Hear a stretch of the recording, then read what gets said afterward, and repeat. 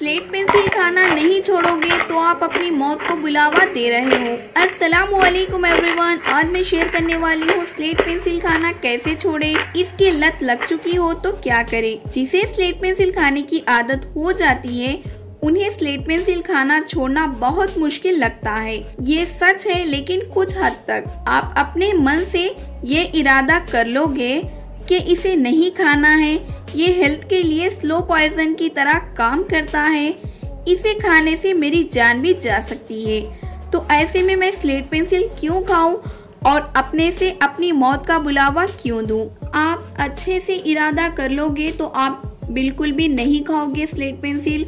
आपको खाने का मन भी नहीं करेगा। आप अपने से स्लेट पेंसिल खाना छोड़ सकते हो। लेकिन बात यहीं पर आके रुक जाती है कि हमने तो बहुत कोशिश की है लेकिन हमें तो स्लेट पेंसिल खाने की क्रेविंग हो रही है तो अब क्या करें? और इसे खाना कैसे छोड़े? हमने जितनी भी कोशिश की है, वो सब नाकाम हो चुकी है। आप सबको तो पता ही है, स्लेट पेंसिल खाने का यूट्यूब पर ट्रेंड चल रहा है। जैसे कि slate pencil eating slate pencil crunch video slate pencil challenges इस तरह के बहुत सारे चैनल्स हैं जो कि स्लेट पेंसिल खाने के लिए और बढ़ावा दे रहे हैं। लेकिन गैस कुछ व्यूज़ के लिए इस तरह के वीडियोस बनाना, किसी के लाइफ के साथ खेलना, ये अच्छी बात नहीं है। इसे नहीं खाना चाहिए। जिसे इस चीज़ की आदत लग चुकी है, वो बार बार यही वीडियोस देखने लगेंगे। तो इसे खाना कभी नहीं छोड़ सकते हो आप। लिहाजा, आप इस तरह के वीडियो से दूर रहें।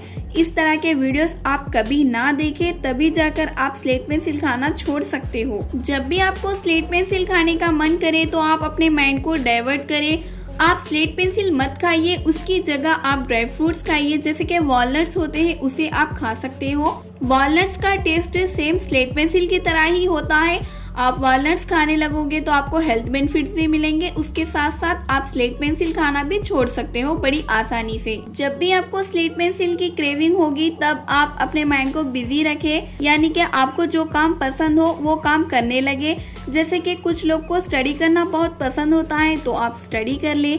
या फिर कुछ लोग को कुकिंग करना पसंद होता है, जिसको जो आदत होती है और जिसको जो चीज़ हद से ज़्यादा पसंद हो वो काम आप करने लगे, तब आपका माइंड डाइवर्ट हो जाएगा और बार बार आपको माइंड ये सिग्नल कभी नहीं देगा कि आपको स्लेट पेंसिल खाना है। इस तरह से आप करोगे तो स्लेट पेंसिल से आप दूर रह सकते हो उसके साथ साथ अगर आपकी नज़रों में स्लेट पेंसिल आ जाए तो उसको आप अवॉइड करें।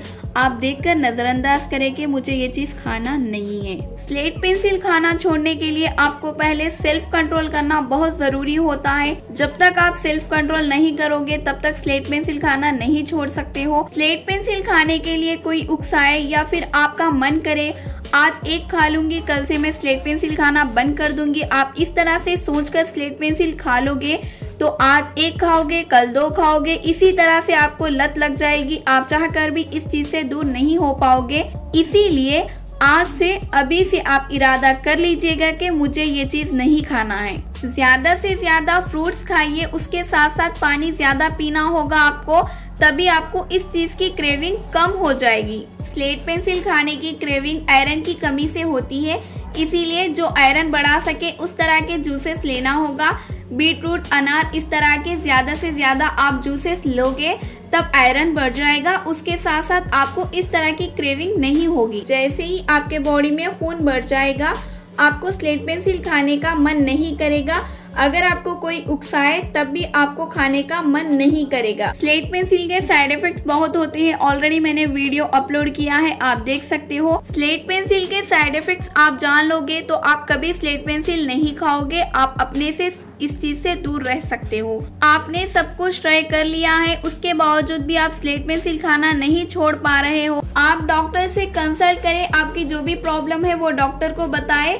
डॉक्टर आयरन कैल्शियम इस तरह के मेडिसिन देंगे। आपको कुछ दिन उसे लेना होगा, उसके बाद आपको जो भी स्लेट पेंसिल खाने की क्रेविंग हो रही हो, वो खत्म हो जाएगी। आगे से आप कभी स्लेट पेंसिल नहीं खाओगे। इस तरह से आप कीजिए। आप अगर सेल्फ कंट्रोल नहीं कर पाओगे तो बेहतर है कि आप डॉक्टर से कंसल्ट करें। लेकिन आप अपने से कोई मेडिसिन ना लें और आपको स्लेट पेंसिल किसी भी हाल नहीं खाना चाहिए।